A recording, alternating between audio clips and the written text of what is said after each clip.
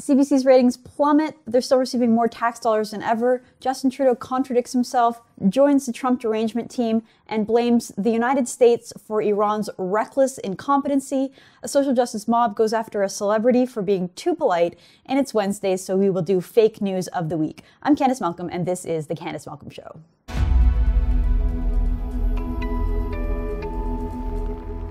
Hi, thank you so much for tuning in. I know I've been focusing this show so much on Iran, so I'm going to lead with something a little different today. This is an exclusive from Blacklock's reporter that was picked up by Post Millennial and TNC.news. The CBC's ad dollars have fallen by 37%. So this is from Blacklocks. The CBC confirms its English language TV ad revenues fell by more than a third last year, with fewer than 1% of Canadians watching its local supper time newscast. Crown broadcaster in its latest annual report questioned whether it can remain sustainable without more subsidies. So fewer Canadians than ever before are watching the CBC. Canadians are just not tuned in. They're not interested in what the CBC is pushing, which is a very far left, anti American worldview. Canadians, by and large, reject that kind of nonsense, and they're not watching it. Less than 1%, fewer than 1% of Canadians are watching the CBC every night and at the same time, the CBC's ad dollars are falling. So companies are less and less interested in advertising on the CBC. And yet they're still receiving $1.2 billion in annual subsidies courtesy of you and me and the rest of the Canadian taxpayers out there. And at the same time, the CBC is still asking the government for more money, saying that their entire funding model is not sustainable and that they're going to need yet another bailout, more and more money from the Canadian taxpayer in order to sustain. You know, it's just, it's so mind boggling that this entity exists in Canada. You know, this is a time where digital media outlets are thriving, where new startups like TNC.news or like the post millennial, or even some on the left, you know, Canadaland, Press Progress, um, the National Observer. There are all these new digital media outlets that are successful, that have found a successful funding model that Canadians are interested in, that are, sort of serve a niche audience. And it, you know, we're all making it work. We're, we're, we found a sustainable funding model, whereas this sort of behemoth state broadcaster that has no clue what Canadians want, that never really has to think or consider what to do to make Canadians more interested in their broadcast. All they have to do is go hat in hand to the prime minister and beg him for more money. And if uh, the past is indicative of the future, uh, Trudeau will always say yes to the state broadcaster. You know, this reminds me of this uh, little moment on the campaign trail where Justin Trudeau flat out stated why uh, you know, him and liberals love the CBC. Let's play that clip. For you, David. This is for you. No, no, no, no, no. Me? Hey, Liberal Party always supports. So we know that Justin Trudeau loves the CBC. We know the Liberals are always there for the CBC, as he said. So I wouldn't be surprised if the Liberals came up with even more money to subsidize the CBC. You know, this is just so unfortunate because Canadians don't want this. It's bad for the country. The CBC is so biased, they're so off in their editorial position that they have a negative impact on the country. They harm the entire country, and yet we're the ones funding it. It's it's so frustrating. Uh, let's read more from this Blacklock's report. It says English TV ad revenues fell 37% from 178 million to 112 million. French language ad revenues declined 3% from 140 million down to 136 million. The total audience for 6 p.m. local TV newscasts at 27 CBC stations nationwide was 319,000 people the equivalent to fewer than 12,000 nightly viewers per city. Uh, that's less. That's that's fewer people than listen to this podcast.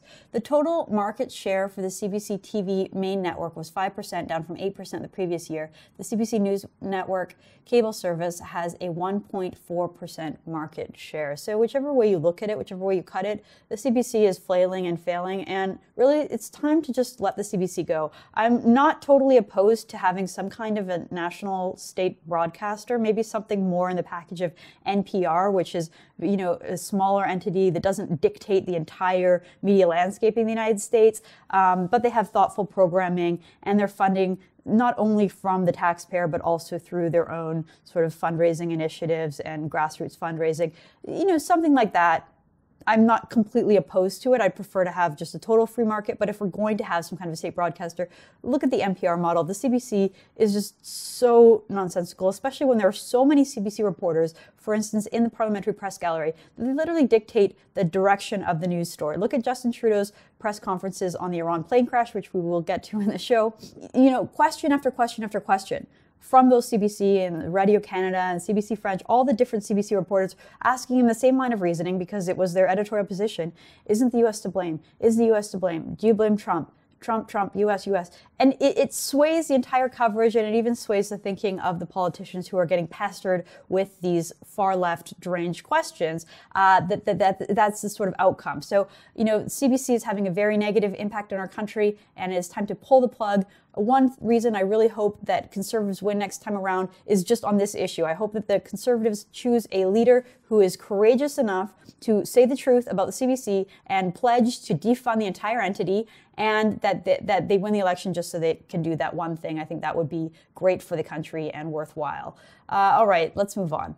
Justin Trudeau has completely contradicted himself. So, if you recall, on Saturday, he gave a press conference. Iran took responsibility for the downing of that plane crash after spending several days lying. At first, they said it was engine failure. Then, they said that someone else must have shot them down. Uh, they finally took responsibility. Justin Trudeau gave a very firm uh, press conference on Saturday. Firm for him. He still wasn't perfect. He still made some fumbles and he wasn't as tough as possible. Reporter after reporter, especially those CBC and Radio Canada reporters, kept asking him if he thought that the U.S. was to blame. He actually pushed back and was pretty firm for him, made it clear that he didn't believe the United States was at fault, repeatedly said that it was Iran, it was Iran, it was Iran.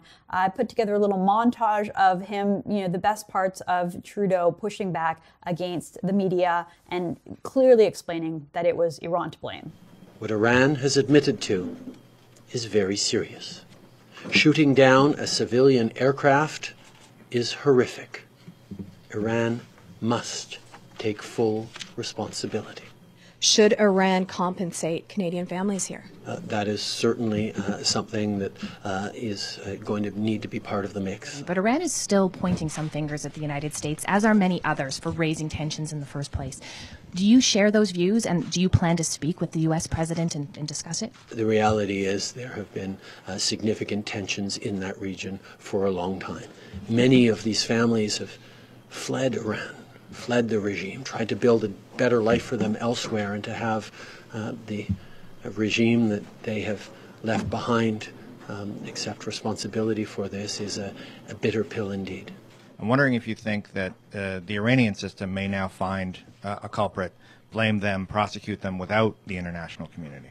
I think there is a, a recognition that there is uh, probably uh, individual culpability in this situation, but there is also a, a system-wide culpability, and the reflections around that is something that the uh, Iranians and indeed the international partners will be engaged with uh, over the coming weeks as we unfold in this investigation. So he makes it pretty clear. He says that he believes that Iran should probably compensate the families, which shows that he believes that Iran is the one that's to blame. He says, when asked specifically, do you think the recent tensions in the region caused this plane crash? He, he said no. He said, let's be clear. There's been tensions. There's been significant tensions in that region for a long time, which is absolutely correct. You know, those who are just looking at the death of Soleimani uh, are missing, you know, the last, not, not even just six months of history, the last 40 years of history, but even if you're just looking, you know, a couple of days before Soleimani was killed in that attack, in that drone strike by the U.S.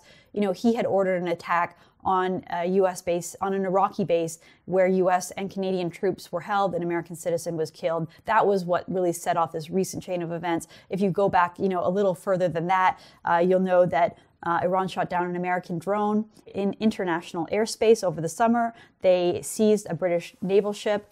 Um, that was also in international seas. They bombed a Saudi oil facility, knocking out about 5% of that country's oil production, um, and then they, sh- they attacked these bases. So there are several examples of Iran being the aggressor in this region that really led to the, es- the recent escalations, and Trudeau rightly acknowledged that.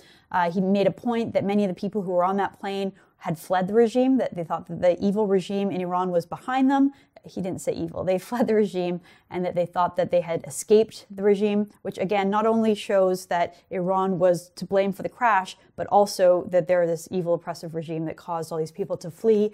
And then at the very end there, he was talking about how there's probably individual culpability, but also a system wide culpability. So all of that is to say, you know, no matter which way you look at it, whether you're looking at tensions in the region, that was caused by Iran, whether you're looking at, you know, the, the, the, regime's capability to do evil and, and why so many people flee it, he acknowledged that, which, you know, that's about as far as I've ever seen Trudeau go on Iran.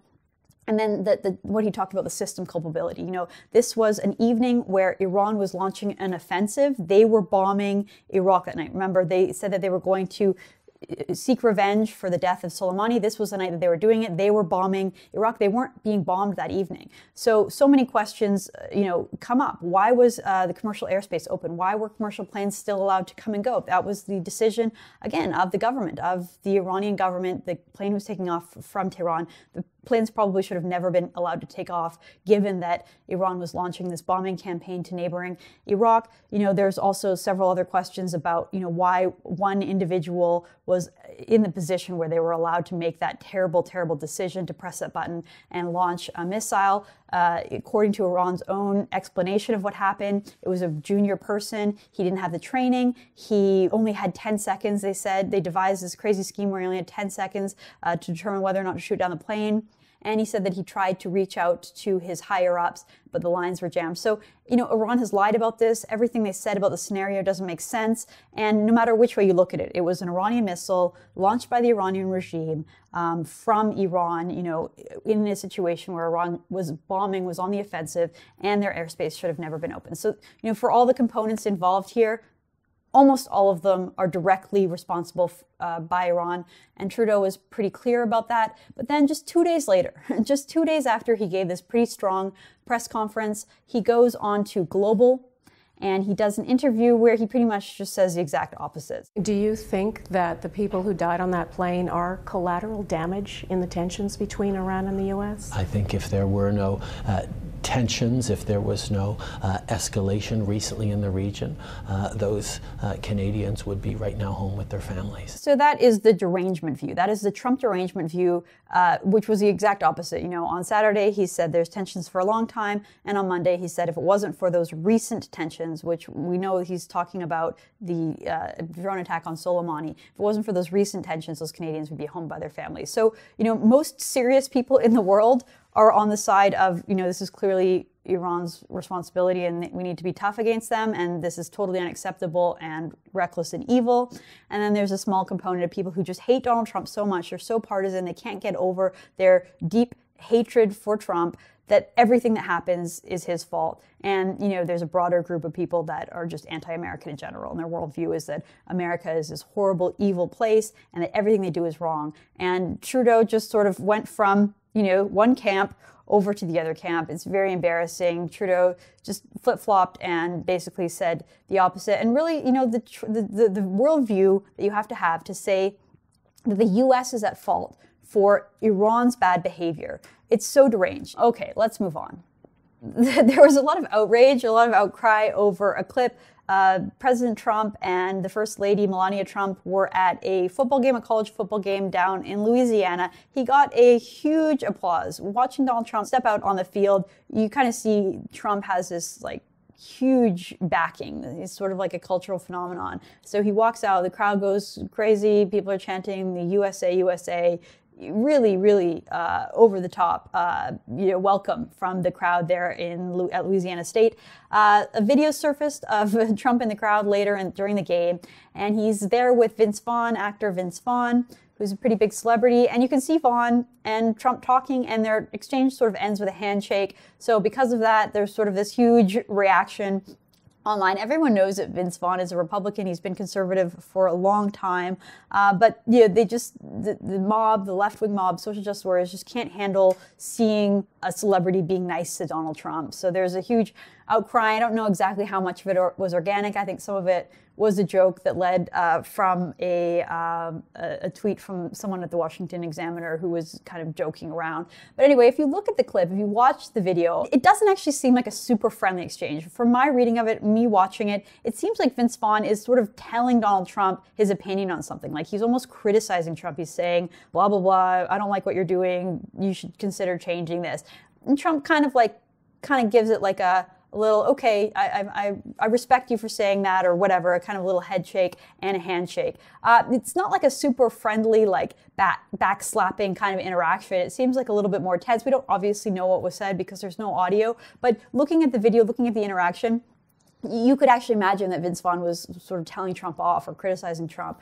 Um, and yet, that doesn't matter because all the deranged left saw uh, was a celebrity being nice to Trump, and that led to typical Trump derangement online. All right, it is Wednesday, so we're going to do fake news of the week. This comes courtesy of, you guessed it, the CBC, the state broadcaster you cannot trust to tell the truth. Okay, so CBC Politics tweeted out Harper says regime change needed in Iran to bring peace to the region. CTV followed suit and put out a very similar piece saying Harper calls for Iranian regime change in wake of downed jet. Now, the only problem with all that is that that's not what Stephen Harper actually said. And calling for regime change is like very specific. It is very specific meaning and it's pretty aggressive. Like it's something that most politicians wouldn't do. Uh, me, on the other hand, I would openly say that Iran needs re- regime change. They obviously need regime change. They're led by a group of evil mullahs who are not only evil but incompetent, as we've seen over the past several weeks. Uh, but that's not what Stephen Harper said. Stephen Harper is more diplomatic than I am. Uh, unfortunately, the CBC just doesn't always, you know, report the truth, as is the case here was pointed out by the National Post's Chris Selley. He tweeted out that regime change has very specific meaning, and Harper doesn't even remotely allude to that in the passages quoted here.